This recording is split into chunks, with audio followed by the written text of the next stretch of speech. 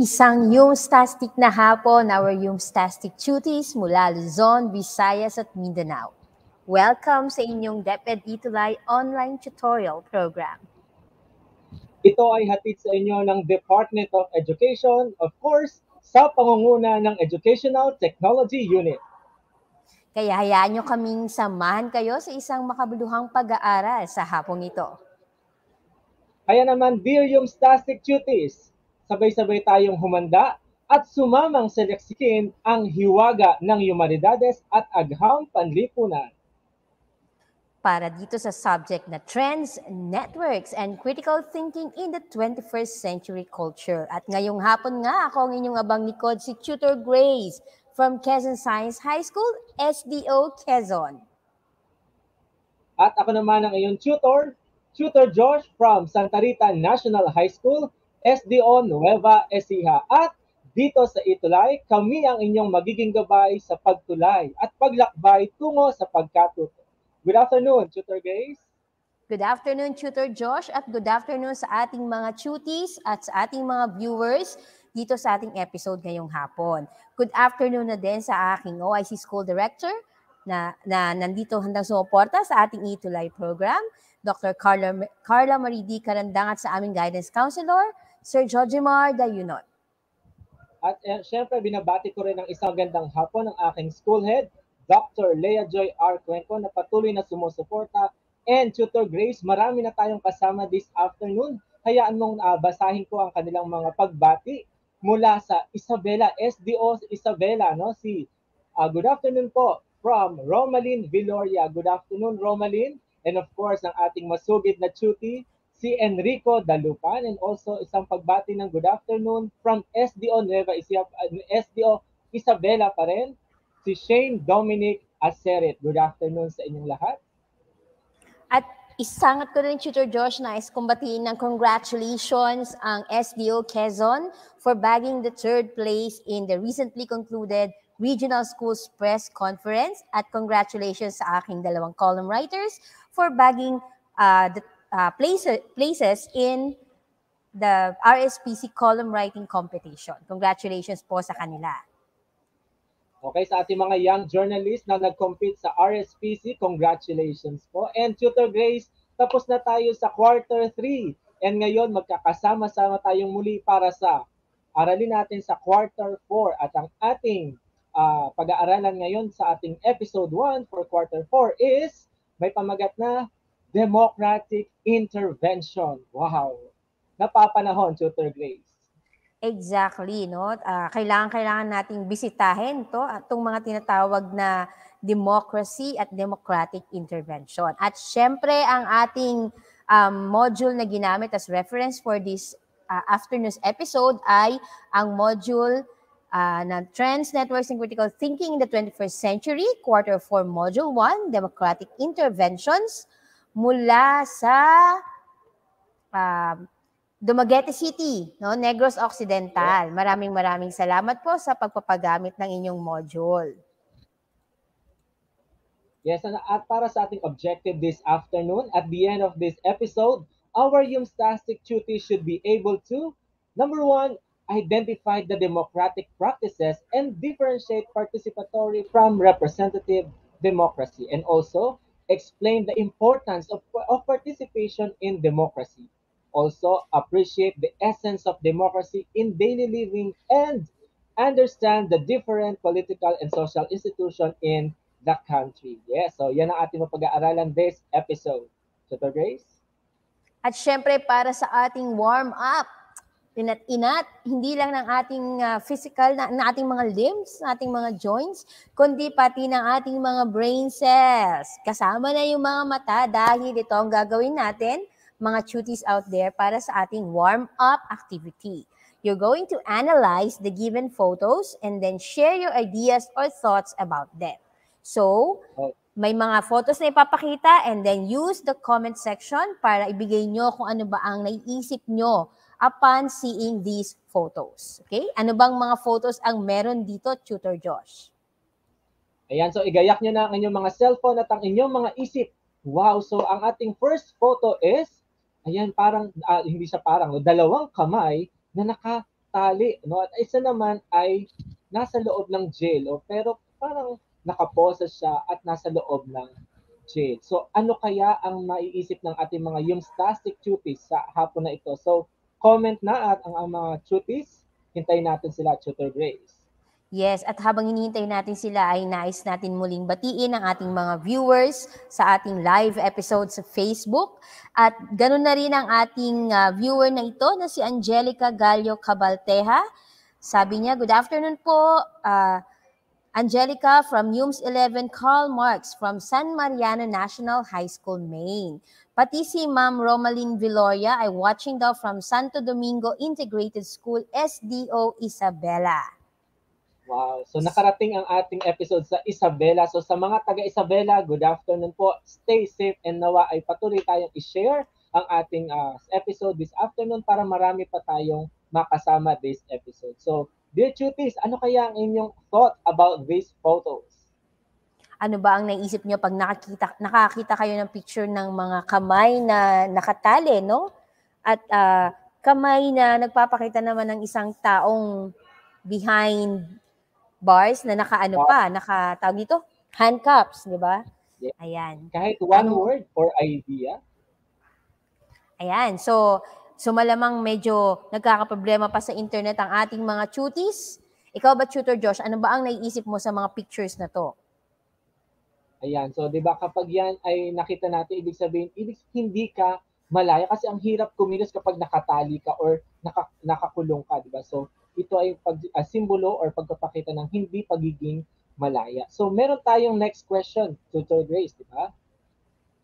Yes, at ang tanong na yan ay, ayan, give a word that is opposite to what is depicted in the picture. Okay, so sabi okay. ni Tutor Josh, hindi daw malaya. So ano yung possible na opposite na pinapakita dun sa mga picture na pinakita natin kanina? So mga cuties na nakikinig ngayon sa ating live, pwede niyong i-type kahit one word lang, no? kasi give a word lang, so isang word lang na opposite to what is depicted in the pictures na pinakita namin nga kanina, yung nakatali at saka yung nakaposas. Tutor Josh? So what is the opposite of that? So ibigay na natin habang sila ay nag-iisip, which is freedom. Diba? Freedom. And exactly. is freedom, okay, is freedom an essential element of democracy? So yan na, next question, dear. Is freedom an essential element of democracy? Ayan, Tutor Josh, may humahabol sa ating opposite word, no? Sabi ni Rico, lumutan freedom po. Exactly, wow. no? So, ayan nga yung kasunod na tanong para sa ating trending question dito sa ating subject. Sabi ni Tutor Josh, is freedom an essential element of democracy? Is it a yes or is it a no? Alamin natin yan. Tutor Josh? Yes. So maraming salamat kay Rico Lumutan. So isang yumstastic na palakpak sa ating mga cuties. And next, mag-aaral na tayo deeper dun sa ating concept ngayong hapon na ito about democratic intervention. So, ang democratic interventions ay nasa module 1, okay, nitong ating ginagamit na module at dito sa ating lesson ngayong hapon. Ang first lesson, Tutor Josh, is the importance of participation in democracy. Napapanahon nga, tama ka Tutor Josh, napapanahon nga ang topic na to para sa, um, kumbaga, dito sa ating bansa na, na nandito tayo ngayon sa tinatawag nating um, hyped, hype na election season, di ba? So, ano ba yung importance ng participation natin sa tinatawag na democracy? Go ahead, Tutor Josh. Yes, so ang uh, kadalasan nating uh, natiisip kapag democracy is yung pagboto, ano? So, talaga naman napapanahon na iba't ibang kulay ang nakikita natin sa paligid at iba't ibang mga uh, jingle ang nating naririnig. No? So, let us define first, no? the government intervention. So it refers to the ways in which a government regulates or interferes with the various activities or decisions made by the individuals or organization within its jurisdiction. So yun ang, ang, ang gampani ng gobyerno natin. So wag nating tingnan masama ang ating gobyerno dahil wala silang iniisip kundi ang kapakanan ng mga nasasakupan nito. They regulate no or they interfere sa mga activities sa ating bansa. Tutor Grace? Exactly, no? Napaka-mahalaga yan. Nahalagang maintindihan natin ng role ng government when it comes to uh, when it comes to the reg, uh, to regulating and, or interfering sa mga activities na sinasagawa sa loob ng bansa na nasasakupan ng isang gobyerno. So moving on, ang tinatawag namang democracy, okay, uh, pag-aralan natin ang kanyang um, etymology. So sabi dito, it originates from the Greek word demos, which means people. And Kratos, which means strength or power. Akala ko si Kratos na dun sa God of War na game, Tutor Josh. Ito pala ay yung pinagmula ng salitang democracy, no? Demos, people, Kratos, strength or power. So when you combine them together, 'di ba? Strength or power of the people. So hindi isang tao, hindi isang pares, kundi people, maraming tao. Pwede rin nating tawagin na masa, or or sometimes referred to as the the general public. Basta ang mahalaga we are referring to a large number of individuals here. So yan ang tinatawag na democracy. Tutor Josh? So maraming salamat at isang pagbati ng good afternoon para kay Rayalyn Sansiangco from PUP Cabiao Campus and Angelica Cabalteja from sa uh, yun po no sa San Mariano National High School. So good afternoon. So yun ang tinatawag nating democracy. Ay, ganun din kay Adrian Garcia from um, uh, 10 Marcos Dr. Pablito V. Mendoza Senior High School, SDO Bulacan. Ayan. Wow. So, talagang, ano na, all parts of, ano tayo, Luzon, ano? Nakakatawa. Yes. Yes. So, moving on. So, tutor, yes, Tutor Grace, so umabot na tayo sa Bulacan, umabot na tayo sa Isabela, sa Nueva Ecija at syempre sa Quezon exactly. at sana sa buong Pilipinas pa. So uh, additional um, information about democracy is it is a form of government in which the supreme power is vested in the people and exercised directly by them or by their elected agents under the free electoral system. So alam na alam ng ating mga chutiset at ramdam na ramdam nila sa panahon natin ngayon itong tinatawag nating uh, democracy na ito because it is a supreme power vested in the people no? And exercised by them. So talaga naman nating by kapangyarihan ng masa lalong-lalo na sa magaganap sa May 9 di ba Tutor Grace? Exactly ano nakaka-excite yan kasi iba yung hype ngayon eh no? Iba yung hype iba kung paano i-exercise ngayon ng tao ang kanilang ang kanilang power no as as a group of uh, as a group of people as a people as a nation in general no iba yung hype ngayon so uh, kaya kaabang-abang talaga this time around lalo na ang ating nalalapit na May 9 national elections. So move tayo. Ano pa ba yung malalaman natin about democracy? It is one of the most important principles for a better world.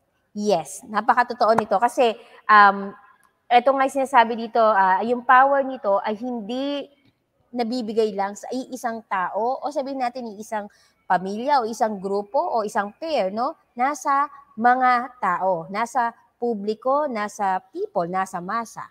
Kaya napakahalagang prinsipyo ito, okay? Para makapagbigay tayo, makapag-create tayo ng isang maayos, matiwasay, mapayapang mundo. In its truest sense, a democracy is a community in which all members have an equal say in the running of that community. So may may equal say. Ano ibig sabihin nun? Dapat equal ang kanilang nako-contribute na opinions, thoughts. In the same way, yung marireceive nila from the other members of the community, ganun din. Kasi equal nga, hindi pwedeng may naangat, hindi pwedeng may napapasa ilalim. Higit sa lahat, hindi hindi magandang bagay yung naghihilahan. Di ba, Tutor Josh? Yes. Okay, so maraming salamat ma'am at kailangan sa democracy ay meron tayong equality and equity. Ano? So isang magandang hapon po Francis May Angeles, Lala Sheila Valdez, Danica kasi siyempre, Ella May Parungaw, Hana Pineda, Trisha Fernando, April Vino, Rosel Raimundo, sa ating mga PUPians na sumusuporta at tutor Grace sa atin ngayong hapon na ito. Ayan, at sila ay uh, mga nasa field ng education. Ayan. Ma- yes, ma- napaka-swerte ninyo kasi meron agad kayong uh, extra subject na natitake up. 'Di ba? Makakakuya din kayo ng mga teaching strats ni Tutor Josh. Ayan. Okay. So Tutor Josh, go yes. ahead. Yes. So we have question, what is democratic practice? Kanina tina, uh, din, uh, uh, din, uh, diniscuss natin yung what is demo, uh, democracy. Ngayon naman, what is democratic practice? So bigay nga natin, Tutor Grace, yung ating mga democratic practice. So number one is, democratic practice is a set of principles and practices that guide how people interact and work together. No? every day to improve their community and to create more just a society. Ibig sabihin talaga, tutor days, ang demokrasya ay hindi isang tao lang. It involves Yes. many people no, that interacts to each other. So doon papasok yung democratic practice. Tutor Grace? Yes, and it's very important that uh, we remember that when we think, uh, when we talk, whenever we talk about democracy and yun nga, democratic practice, it's not always focused on what one person wants. Okay? Yes. Because everyone in a community is a member of that community. So dapat talagang they will interact and work together. Alam nga namang yung isang isa lang napapagod, the other masaya, no? Dapat ano, 'di ba, equal. Yan. Yeah. Also, to to add to that, ano ba yung mga democratic practices? No, so alam na natin kung ano yung democratic practice, but what are some democratic practices that have been done or that are currently in effect no? In our in our community in our nation for example in our society these days. So unahin na natin meron tayong tinatawag tutor Josh. Again this is very uh, yes very much a hype these days. With, this is what we call suffrage or the right to vote. Okay inonote ko lang as an English teacher uh, pag ginamit niyo yung salitang suffrage yun na yon it means the right to vote na. Wag niyo na, wag na sanang babanggitin na suffrage uh, uh, um, suffrage to vote. Yung iba kasi nakikita ko sa mga sinusulat nila, no? Suffrage to vote, no. Kasi pag suffrage, yun na yung ibig sabihin nun, right to vote. So ano ba yung suffrage? It gives the people the opportunity to exercise sovereignty by choosing the candidates who will govern and serve them. Boom. Very basic um, definition, di ba? Ng tinatawag na Yes. suffrage. Ini-exercise mo yung yung yung yung yung, yung karapatan na bumoto, no? So ibig sabihin, lahat ng selection process na gagawin mo para ma-exercise mo 'yon, that's that's okay. Kasi sa yun eh. Yun, yun yung right mo. And it also means that eligi- eligible voters have the right to elect the government of his or her country by secret vote. Ba't bakit secret vote na tinatawag? Kasi hindi naman natin pinagkakalandakan kung ano talaga yung actual na, di ba? Tama ba ako? Tama ako. Tama. hindi natin Tama. pinagkakalandakan kung sino yung actual na isinulat natin halimbawa doon sa balota, right? Hindi natin sinasabi na pagkasulat natin, oh, ito yung binoto ko, hulog ko na. No. So, kaya tinatawag siyang secret vote. Ayan. Very basic yung aking description para maunawaan talaga natin in all levels kung ano ibig sabihin ng right to vote. Di ba, Tutor Josh? Yes, so at mara- napaka-blessed ng ating mga viewers this afternoon kasi nagdagdag ng kaalam nagbigay ng dagdag kaalaman ng ating tutor Grace na pag sinabi daw na suffrage, eh yun na yun. Huwag daw nating sabihin yung mga redundant na parang moral Yes. lesson, di ba? That Suffrage to Oo. vote is a redundant. So maraming salamat, Tutor Grace, para sa ating mga education students dito, di ba? Dagdag kaalaman yun. Ha? When we say suffrage, it is the right to vote itself. And pagbati po ng good afternoon kay Ma'am Jean Ivy Cunanan Vicente, good afternoon po. Kay Shelvia Perine, good afternoon po. So ano pa ba ang ating mga democratic practices aside from suffrage? Public assembly and consultation. Yes, so dahil binibigyan tayo ng karapatan, binibigyan tayo ng patas na karapatan, no? Nagbigay ng ah, nagbaba, 'di ba, ng policy na the, the the Public Assembly Act of 1985 the, uh, it makes sure that the people exercise their right to have a peaceful assembly. So ito yung mga pwede kasi tayo mag-express ng ating mga mga hinaing, 'di ba? Pero in a peaceful way. So inaalaw 'yan ng ating government. At dagdag pa para sa ating public assembly is yeah, public assembly and consultation. Citizens have a set of rights and responsibilities, including the right to participate in decisions that affect public welfare. So, ibig sabihin, kunyari, dito sa gobyerno, merong kailangan pagdesisyonan, pwede yung uh, meron dapat uh, desisyonan yung ating gobyerno, kailangan kasama at ang ating mga mamamayan sa pagdesisyon. Kasi nga, nandito tayo sa tinatawag nating demokrasya. Grace? Okay. Exactly, kasi whatever decision the government may come up with, laging directly affected dyan yung mga hmm. citizens. Kaya dapat may say sila. 'di ba? May say sila yeah. sa decision making. Lalo na kung batas yung pag-uusapan, pagsasagawa ng mga batas. Additionally, kasama pa sa mga democratic practices natin yung tinatawag na majority rule and minority rights. So it is the making of binding decisions. Ha? The term is binding decisions. So pag kumbaga, yun na yun, pero bago siya nakarating sa decision na yun, hindi lang isang tao ang nagkaroon ng say o ng ng mga sinasabi regarding regarding um, yun nga regarding any decision that the government will come up with no?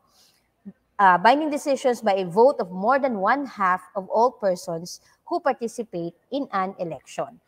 Ang sabi diyan vote of more than one half of all persons. So kung 100 ang half nun ay 50 dapat 51 that is already considered more than one half no uh, mahalaga yon mahalaga yung bilang palagi.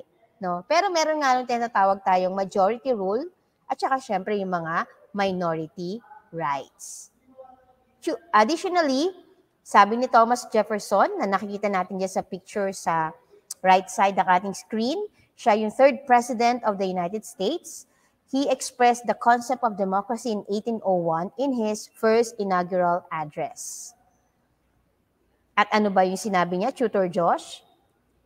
Yan, ang sabi niya, all will bear in mind this sacred principle, that though the will of the majority is all cases to prevail, that will to be rightful must be reasonable. Tama? Reasonable. That the minority possess their equal rights, which equal law must protect, and, the, and to violate would be oppression. Pwedeng, dahil kayo ay nakalalamang, eh, kayo na ang susundin. Pero kung ito naman nag-harm naman sa mga nasasakupan, eh dapat pa rin daw pag-isipan.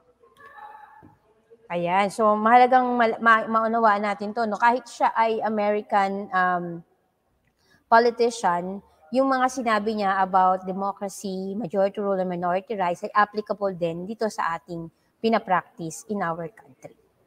Yes. Okay. Next, we have the conduct of plebiscite to amend the constitutional provision. Okay? So it means that the Constitution um, embodies the fundamental laws of the land from which all other laws should be in accord with. Ibig sabihin, yung ating Constitution, ito yung magiging uh, umbrella no, ng lahat ng laws na masasagawa under it all over the land, all over the country. No? So yan yung tinatawag na conduct of plebiscite. Additionally, Anyway, Tutor Josh, ano pa ba ang, yes, go ahead, Tutor Josh. Okay, so addition to that, no? So isang pagbati kay Mark Adrian Sagana. So time check tayo, 4.23 in the afternoon. So let us discuss what a plebiscite or plebiscite is. It is an electoral process for approving or rejecting a change or amendment in the Constitution. So it is in the process of direct vote. Is it a yes or no? accept or reject. So mabilis ang desisyon itong tinatawag nating plebiscite or plebiscite na ito. Na kunyari may pagbabago sa constitution, so is it uh, tatanungin ng mga mamamayan, so it is a direct yes or no or reject or accept. Ito guys? All right. Next, we have what we call the democratic participation. So ano naman yung tinatawag na democratic participation? It is the empowerment of people to effectively involve themselves, ha? effectively involve themselves. So dapat ikaw, hindi ka lang basta makikigulo para masabi lang na nag-participate ka. Dapat, effectively yung pakikigulo mo. Okay? Yung involvement mo, may may magandang goal. No? May hindi lang masabing, oo, may purpose. Hindi lang basta nakipirma ka sa attendance, oh, ayan, meron na ako involvement. Hindi ganon. Kasi mag, anong mangyayari? magkakaroon ng mga creation of structures, design of policies, and programs that will serve the interest of all. So it requires association with other people. So hindi pwedeng um, halimbawa noon, may, may, may meal attendance. Nagpirma ka. Siyempre, di ba, pagka-pirma mo, mag expect ka na may matatanggap kang meal. Meal attendance yun eh, di ba? Hindi pwedeng pipirma ka, tapos yun na yun. No. Dapat meron kang effective involvement. Active participation. Dahil napakahalaga nito, it will not only affect one aspect of our daily life, but all, all aspects of our daily life. Ganyan ka-importante ang tinatawag na democratic participation. Tutor Josh? Yes.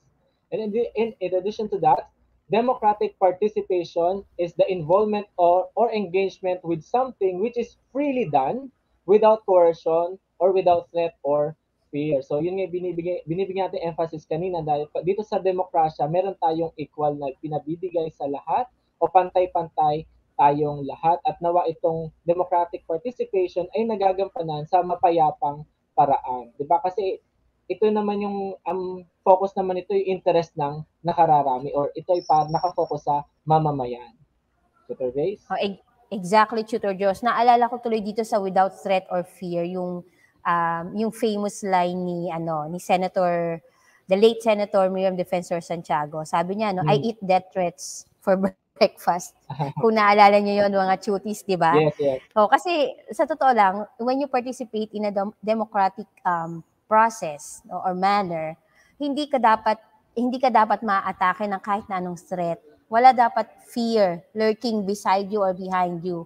Kasi democ- democracy yan eh. We're talking about the power given to the people. O bakit may isang halimbawa, mag, mag, mag inject ng fear or magbibigay ng threat, di ba? So, hindi dapat ganon. That is not democracy at all. Okay? So, tandaan natin yun mga cuties. Freely done, walang coercion, walang threat or fear. Yes. Yes. Moving on, let us proceed to the importance of participation in democracy. So, nag-participate na kayo sa democracy. So what? Di ba? Ito yung so what eh. Bakit kayo magpa-participate? Ano naman ngayon kung nag-participate na kayo? Alamin natin ano yung importance. First, democracy provides equality and admission to opportunities for all its citizens in the government. So, kung nagpo-provide si, demo, si democracy ng equality and equal opportunities sa lahat ng citizens, therefore, dapat talaga tayong mag-participate. Otherwise, yes, yes. para tayong ano, bato. 'Di ba? Bato. Almost useless if we do not participate at all. Okay. Tutor Josh, go all ahead. Right. Yes, 4:28 in the afternoon, so we have the second importance checks and balances the government to prevent possible abuse of political power from the officials. So matunog na matunog yan sa ating bansa. Itong mga, itong mga tinatawag natin mga wag naman sana yung mga corrupt officials. No? So ganyan ka-importante ang participation in, in democracy na meron tayong kalayaan to assess yung ating mga government official, officials kung ginagampanan ba talaga nila yung kanilang sinumpaang tungkulin. Third one is Number three allows citizens to influence and suggest policies and laws through plebiscite in selecting delegates or representatives. So napag-usapan na natin to kanina. So dahil bahagi tayo ng isang um, democratic people, no? So meron tayong say sa mga policies and laws. Pag sinabing merong say, ibig sabihin, we are given equal opportunity to suggest kung ano ba yung policies and mga batas na pwedeng maganap o na, na, na magiging fair sa mga tao sa nakararami sa pagpili ng delegates or representatives. Yes. Next, Tutor Josh. Fourth one. Okay, fourth one is, ay, nangyari to sa atin, di ba? yung nakikita nyo sa picture na yan.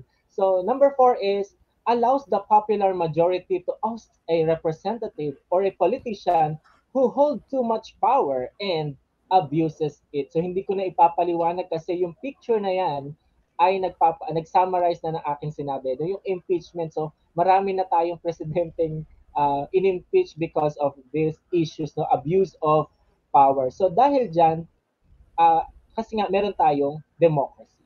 Fifth one is promotes freedom where, where citizens enjoy human rights, allows people to engage the business and innovation. So Democrat, democracy equals freedom equals equal rights. At dapat lagi na pa-practice yung human rights, no? Hindi ito dapat natatapakan. So otherwise, kapag nangyari yon then wala, failed si democracy. No? Tapos dapat nakakapag-engage pa rin ng mga tao sa kanilang usual business at malaya silang nakakapag-innovate sa iba't ibang uh, larangan, sa iba't ibang larangan, sa iba't ibang profession. Okay? All right. So, sixth importance of participation in democracy is becomes competent, firm, and stable when the state is ruled with leaders who have dedication and transparency. So, ibig sabihin, sa demokrasya may karapatan tayong pumili ng ating mga ilhahalal and also ma- meron din tayong karapatan o pagkakataon ni, or i-assess yung kanilang performance kung talaga bang ginagampanan nila ng maayos ang kanilang tungkulin. Ayan, kaya mahalaga yung transparency, no? Mahalaga yung hmm. transparency as characteristic ng isang mapipili nating pinuno. Okay, so the seventh one is uh, provides political education to the people, telling them of the state affairs. Yes. Ayan. Speaking of transparency, no? So na, dapat kung transparent tayo under a democratic nation, so dapat alam ng tao kung ano ba yung nangyayari, ano ba yung estado ng buong bansa. Yun yung mga tinatawag na state affairs. Siyempre, maraming paraan para malaman ng tao yan. Kaya nga ngayon, even sa mga um, social media platforms, ay marami na rin tayong sangay ng gobyerno na doon nagpo-post ng state affairs no ng bawat uh, ng bawat sangay ng ating uh, pamahalaan. Next, Tutor Josh. Okay, number eight is upholds change since the citizens have the opportunity to participate in the involvement in the government. So ayun po, yung kanina pa natin in-emphasize kanina na ang bawat mamamayan ay may kapangyarihan. Kaya nga tinawag natin itong democracy na kung saan ang desisyon ay manggagaling sa nakararami or sa tinatawag natin kaninang masa. Ito, Grace? And then finally, yan yung mga yan yung mga importance ng pag-participate natin sa mga democratic practices na sinasagawa dito sa ating bansa. So sana na-absorb ito ng ating mga cuties na nakikinig ngayon sa ating Facebook Live. So once again, good afternoon, but this time around, proceed na tayo sa ating activity. Ang activity yes. natin, yes, as a student or citizen of this country, give one situation where democratic participation benefits you either in letter A, school, or at home ano ba yung mga um, gawain o sitwasyon kung saan nagpapakita ito ng democratic participation at kayo ay nakinabang sa pangyayaring yun. So sa mga cuties natin, type nyo lang kung ano yung um, ano yung mga sitwasyon na to. So pwedeng sitwasyon na naranasan ninyo or naikwento sa inyo ng kaibigan nyo, naikwento sa inyo ng kaibigan ng kaibigan ninyo. Ayan, pwede nyo i-type dito sa ating um, comment section. Pero good afternoon muna kay Flores Kenneth mula sa, yun pa rin, PUP Cabiao Campus at kay Ashley Rain Gazman watching from SM IICIS. Ayan. Good afternoon daw. Okay, so dear cuties, gamitin na natin ang ating pagkakataon, gamitin niyo ang ating comment section para i-type ang inyong sagot sa ating question na bilang estudyante or citizen ng ating bansa, no, ano yung mga napansin nyo, nabasa, or naranasan ninyong democra- democratic participation? Maaaring sa school or sa inyong bahay. Di ba pag sinabing democratic participation, yung meron kang kalayaan, meron kang part dun sa decision making. Okay? Meron ba? O even, sige, Filipino, sige. Meron ba sa ating kahit, mga cuties? Kahit one word lang? Just yes. to give us a hint? Ayan, siguro pag-iisipan talagang nilang mabuti kung naging democratic ba ang kanilang participation or ayan, kung naranasan nga ba nila ito sa kanilang school o sa kanilang yes. paaralan. Pero definitely anong, meron yan. Yes, anong activity sa bahay? Anong activity sa school yung nagpapakita na merong demokrasya? Okay? Sa bahay meron yan. Meron din obviously sa paaralan. So habang hinihintay natin ang kanilang mga sagot, let us proceed to raise sa ating assessment. O kaya naman, pwede nyo kaming i-PM ni Tutor Josh. Kung meron kayong yes. sagot sa mga question na to, pwede nyo ring i-post sa inyong Facebook, itag nyo na lang kami para ma-address yes. namin ang inyong mga sagot. So proceed na tayo sa ating assessment part. Pero dahil natapos na yung ating discussions and previous activities, yung stastic kayo dyan, ating mga cuties. Ang direction para sa ating assessment. Read and analyze each statement. Write true if the statement is correct and false if it is incorrect. Number one, Tutor Josh?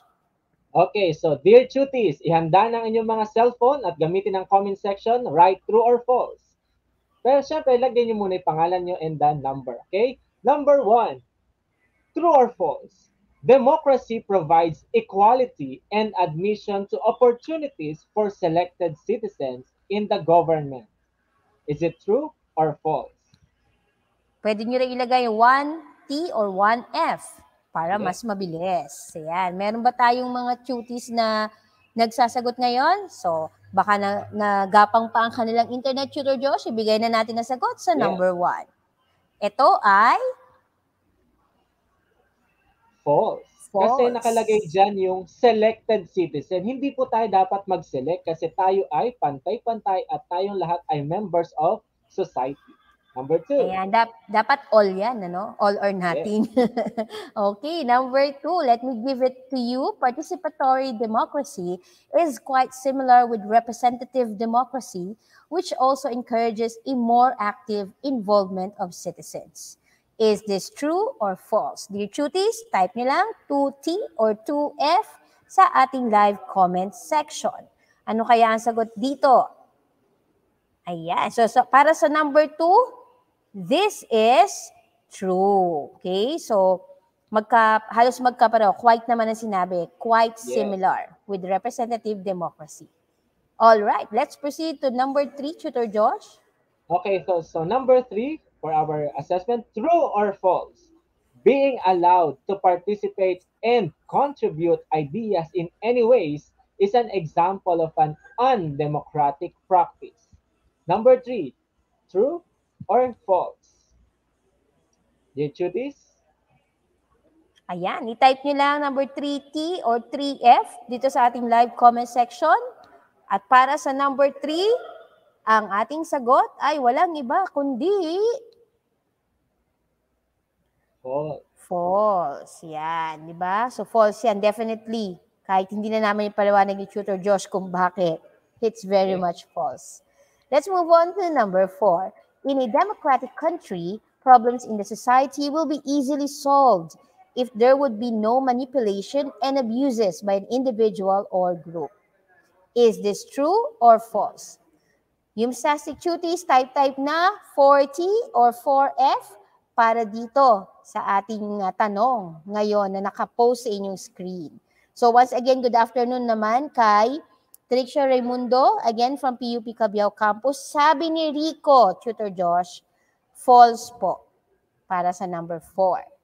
Thank you, Rico, sa, inyong, sa iyong sagot. Tingnan natin kung tama ang iyong sagot. This is true. Yan. This is true. Yes. Bakit kaya true, ma'am? Kasi nakala-indicate dito will be no manipulation and abuses. So kapag walang no manipulation and abuses, it is much easy to solve the problem. So number four is true. And finally, number five, Tutor Josh. So for number five, choosing who or what we want to become is a democratic practice. Again, number five, choosing who or what we want to become is a democratic practice. Number five, is it true or false? Okay, mga cuties 5T or 5F, itype nyo lang sa ating live comment section. Good afternoon kay Andre Gil de Guzman, again from PUP Cabiao. Sabi ni Flores Kenneth, this is true. Okay? Tingnan natin kung tama si Flores para sa kanya sagot sa number 5.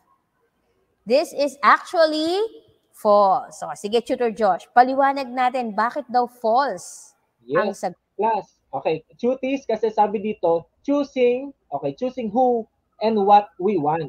Tayong individual. No? Kasi, pag sinabi nating democratic, involved natin yung lahat ng tao sa sa sa lipunan. Eh ang ang focus lang dito is individual. So, gaya nga ng sabi natin, demos means people. So, nakararami. Kaya ang sagot dito ay false. So, tama po si Danica Reyes kasi syempre. Ayan, so sabi nila, marami din ang sagot ng true. Kasi misleading, parang misleading yung statement, pero yun, uh, unawain natin kung ano, ano ba yung ibig sabihin na sinatawag na democratic, I mean democracy, no? Based sa discussion natin kanina. And there you go, that ends up our assessment part. Sana ay uh, marami tayong na-absorb regarding our lesson for today about democratic interventions. Chiro Josh? Okay, so sa lahat po ng ating mga tuties na nag-participate this afternoon, isang yumstastic na palakpak po para sa inyo at naway makasama pa rin namin kayo next episode. Dahil, Tutor Grace,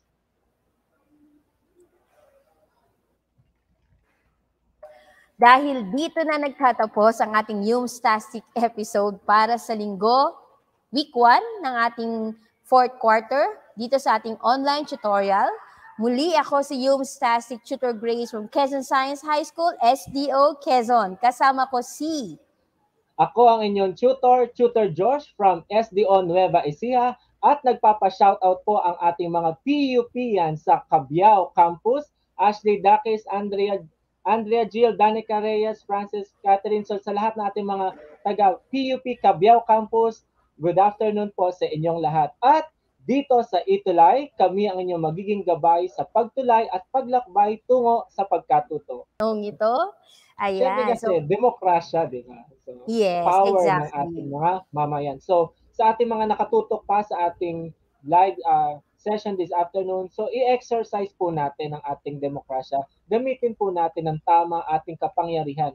Binigyan tayo ng pagkakataon ng ating uh, gobyerno na magkaroon ng kapangyarihan. Ito lang yung kapangyarihang meron tayong pantay-pantay lahat. Mayaman, mahirap, di ba? Lalaki, babae, lahat ng mamamayang Pilipino, ito ang kapangyarihang binigay sa atin na tayo ay pantay-pantay. So please, vote wisely at mag-aral kung sino talaga yung mga leaders na karapat dapat sa posisyon para sa ating kapakanan. Senator Grace? Exactly. Kasi a single vote counts. Napakahalaga niyan. Di ba sabi natin kanina, uh, 50, uh, kung, kung 100 yung voters, yung 50, kung mahati siya sa 50, mm-hmm. wala pa yun eh. Tied pa yun, no? So, yung one vote will be the tiebreaker. Kaya, map, napakahalaga na i-practice natin yung suffrage kasi um, ito na lang yung nabigay sa atin na hindi kailangan ng ng social status, hindi hindi kailangan ng kung ano man profession mo, no, hindi kailangan ng magarbong damit, okay? Hindi kailangan mag-post ng OOTD kapag boboto na. Napakahalaga ng suffrage. E-exercise natin ito kasi yung yung iba hindi na nga natin napapractice eh. So pag given tayo ng chance na ma-practice, 'Di ba? Why not? Why not coconut? Yeah. Gamitin na natin tong power na to. Sabi nga ni Tutor Josh, napakahalaga ng power na 'yan. Yes, ito ay kapangyarihan na hindi lang para mga superhero tayo. No? Kung ang superhero ay nagliligtas ng ng sambayanan o ng bansa sa magitan ng kanilang mga supernatural powers, tayo ay kaya rin nating iligtas ang ating bansa laban sa korupsyon, laban sa mga masasama, 'di ba? Laban sa Hello, hello po, Janine Santo. Hello, Chut. So, kung, kung sa mga store... Ang husay naman! Natapos mo ang iyong tutorial session kasama ang iyong mahusay na Itulay Tutor. May bago ka bang natutuhan? I-share na yan gamit ang hashtag Itulay Level Up. Huwag aalis ha dahil may susunod pang programa na pwede mo ring panoorin at salihan dahil naghihintay na ang iyong mga tutors. Happy learning dito sa Itulay!